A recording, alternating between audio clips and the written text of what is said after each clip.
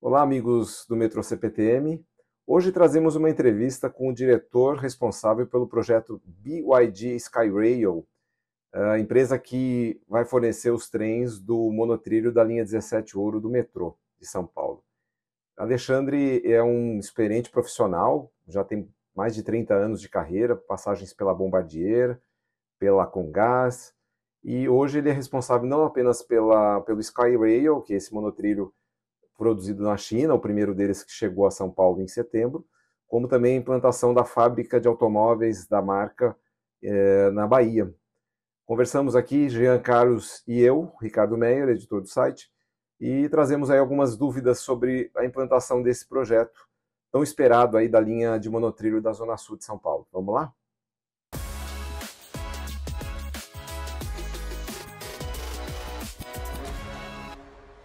Muito bem, estamos aqui com o Alexandre Barbosa, diretor da BYD Skyrail, que veio graciosamente responder algumas perguntas aí sobre a linha 17 Ouro, né, que recebeu há pouco tempo o primeiro trem de monotrilho, e esclarecer dúvidas, é, bastidores, um pouquinho aí dessa, desse todo esse processo, né, de anos, né, Alexandre, que vocês estão trabalhando nesse projeto com o metrô, né?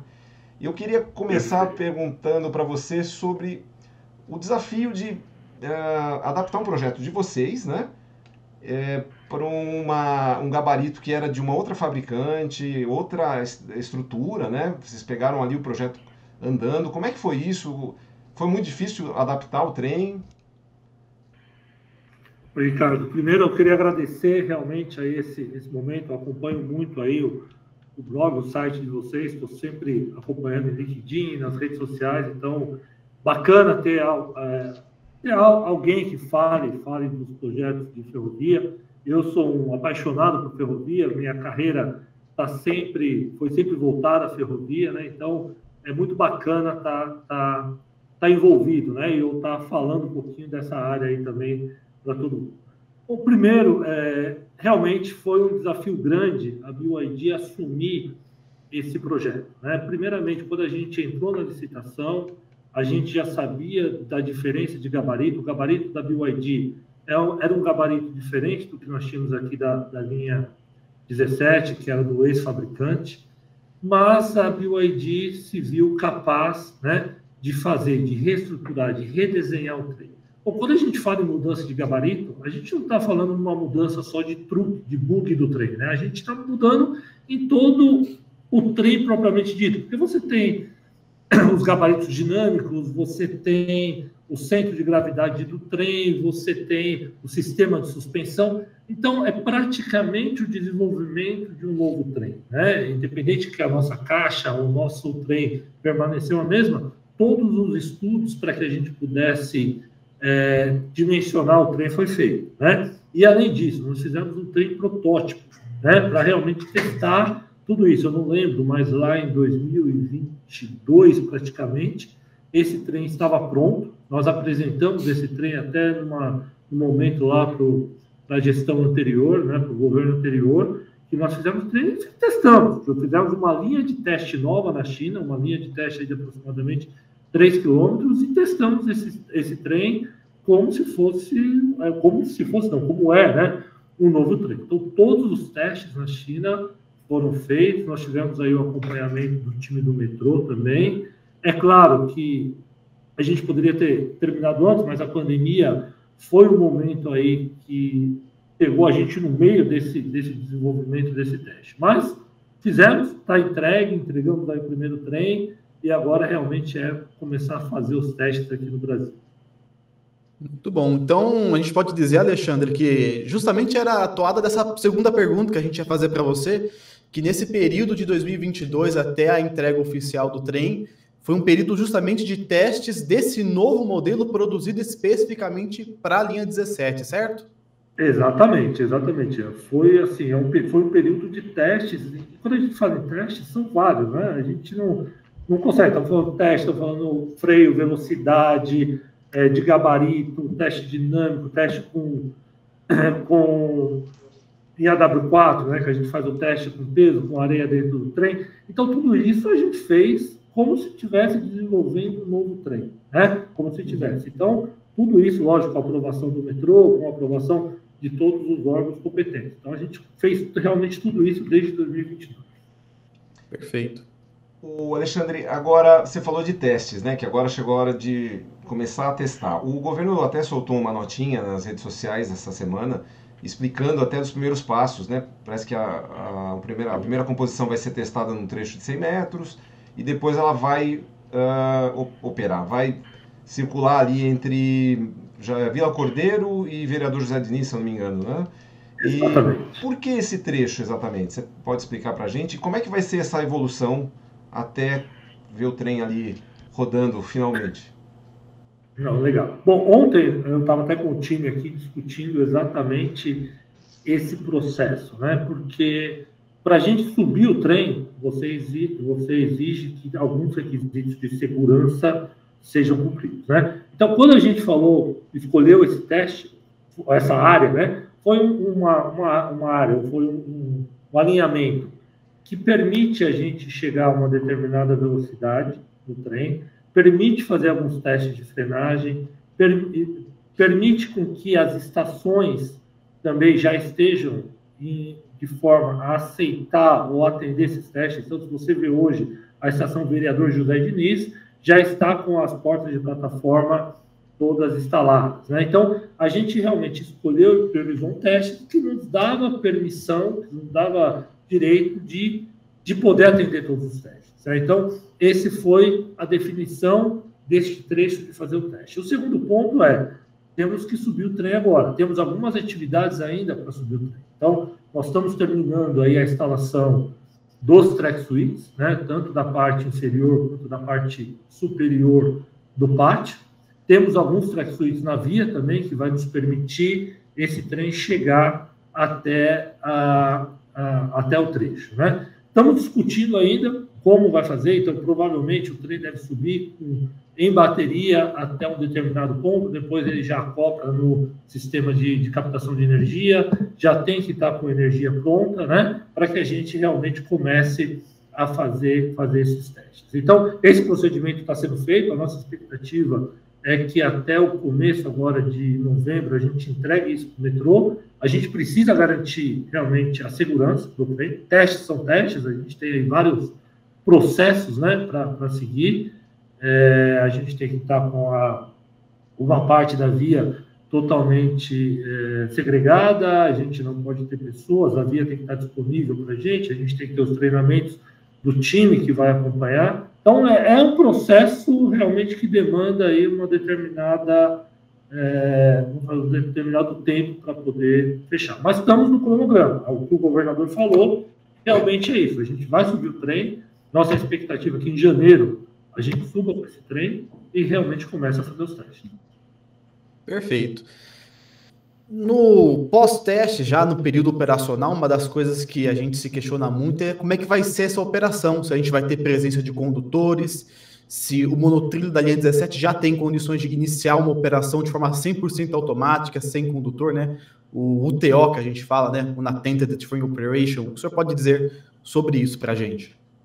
É, bom, vamos lá. O trem vai estar apto né, a poder já começar uma, uma operação UTO. Esse é o nosso objetivo. A gente quer entregar tanto o trem quanto o sistema de sinalização, né, quanto outras áreas, precisa estar preparado para isso.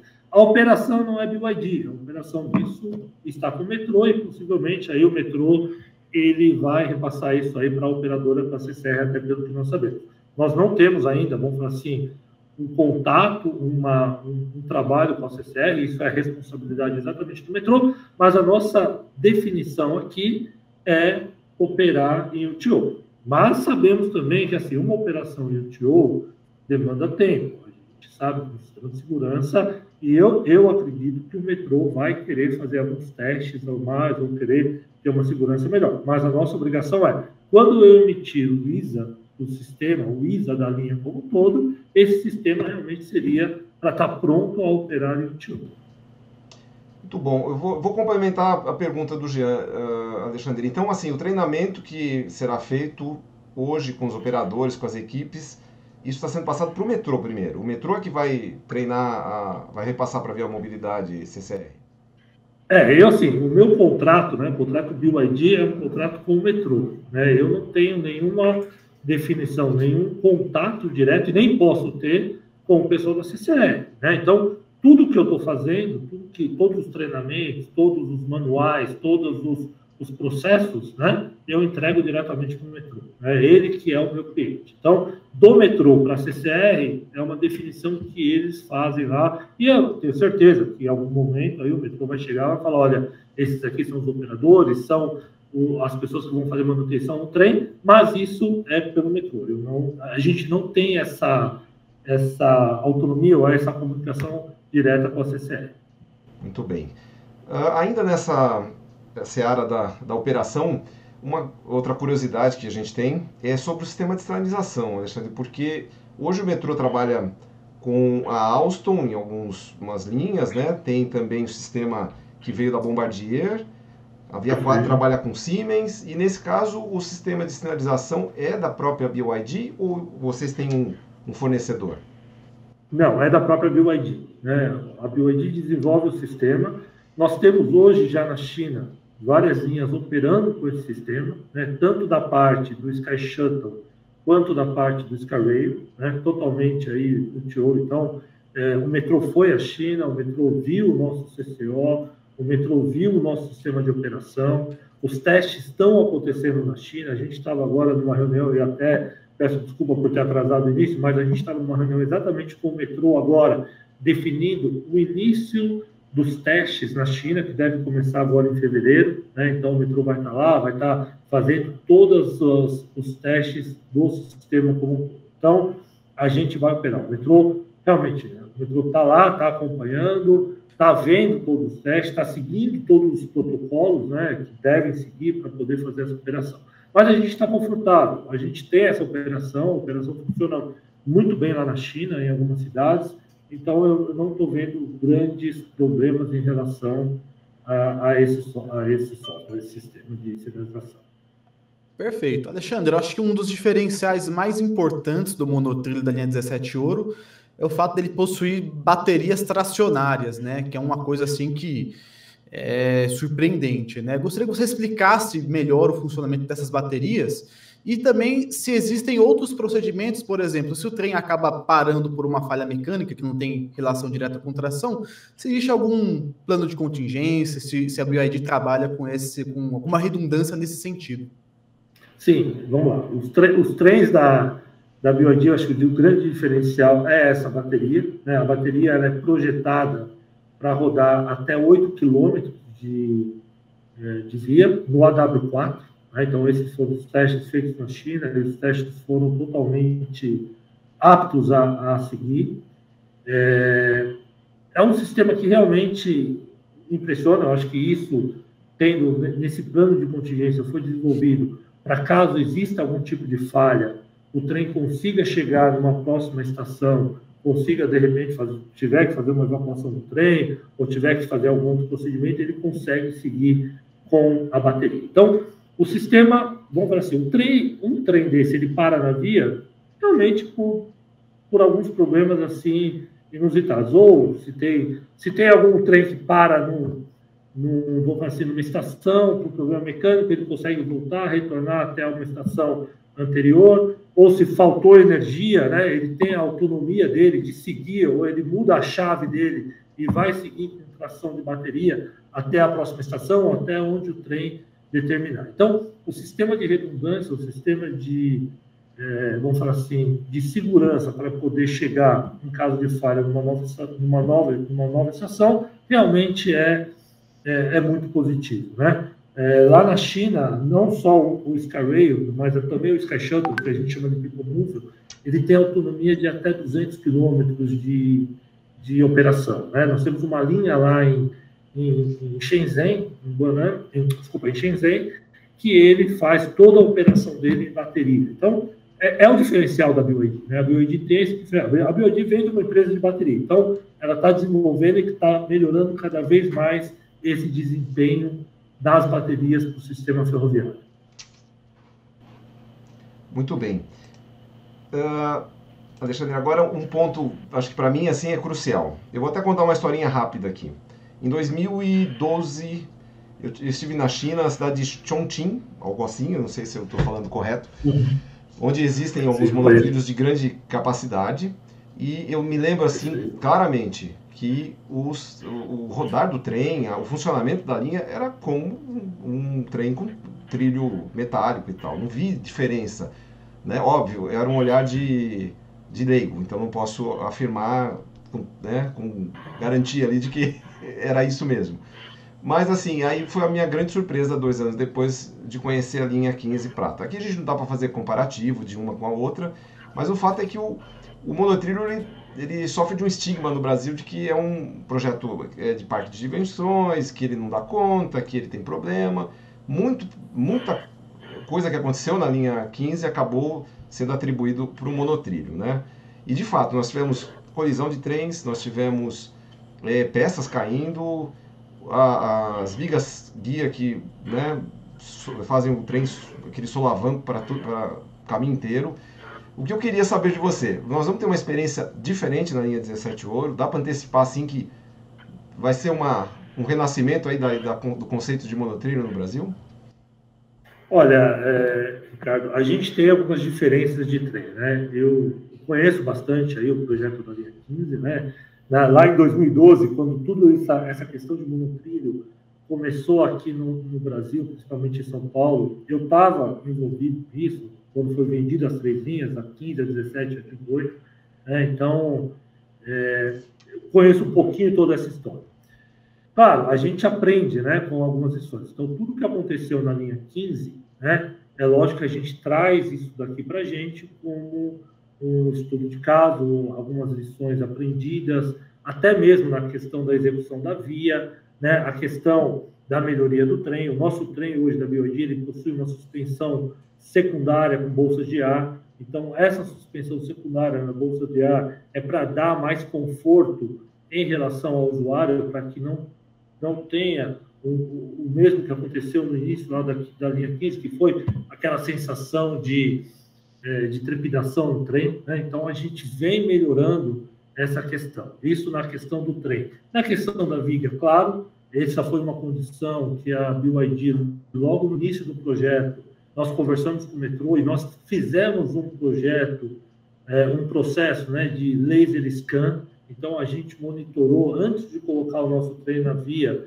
a gente está monitorando toda a qualidade da via, toda a questão de de, de, de, de tolerâncias da viga que a gente tem durante a, a para que a gente possa dar esse conforto. Então, esse é um, um dos diferenciais. Na questão tanto da parte de acidente, de cair peças na via, esse é o nosso sistema que nós conversamos todo dia com o time, para que realmente a gente possa garantir e ter essa certificação de qualidade para poder fazer isso. Um dos diferenciais também, e essa é uma questão da BioID, a BioID ela trabalha com time interno. Então, todo o nosso time de montagem em campo, hoje de terceiro e quarto trilho, ou de algumas peças, é um time BioID, né, que a gente tem um time de qualidade hoje em campo, averiguando e certificando e, e vendo realmente esse processo para que a gente evite esse tipo de, de problema.